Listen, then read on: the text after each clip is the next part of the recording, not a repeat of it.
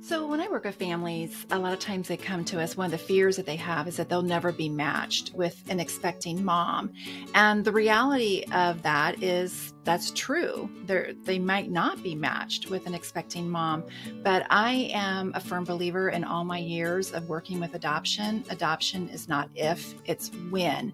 If a family is persistent and they stay with it, no matter what happens, no matter what they experience or they go through, the heartache, if they stick with it, in my experience, I've had every family be able to match and be able to adopt a child.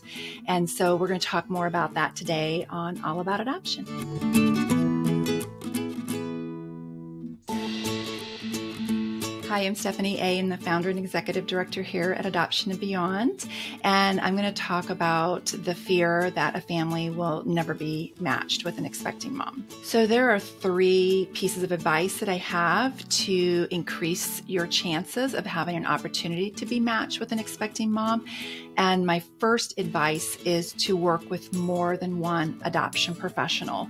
The more uh, times that you put yourself out there to be available to be chosen and to be shown to expecting moms, the more opportunities you're going to have to to be chosen.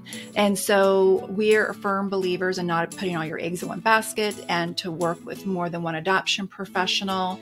And that can look many different ways. And we help families guide on, on what that can look like for their family. But uh, networking out and expanding that wa- uh, net as wide as you possibly can. That's the number one piece of advice I have. My second advice is to make sure that your preferences for a child are as wide as you possibly can, which also includes your adoption budget. So, the more that you are open to a specific kind of a child uh, that you want to adopt, the more opportunities you're going to have your profile to be shown.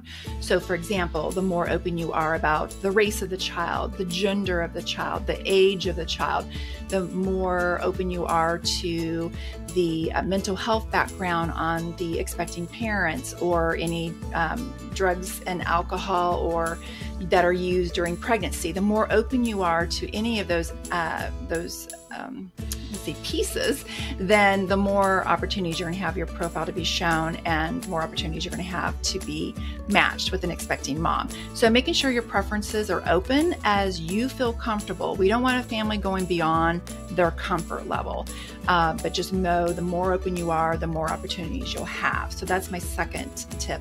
So moving on to my third tip is to be sure that you have a professional adoption profile done. A profile is what expecting moms look at to help them learn more about your family and to determine whether you're the right family that she would like to work with on an adoption plan. And, you know, I always say you never have a second chance to make a first impression. And so the, the uh, profile, I believe, is the most vital piece of this entire adoption journey.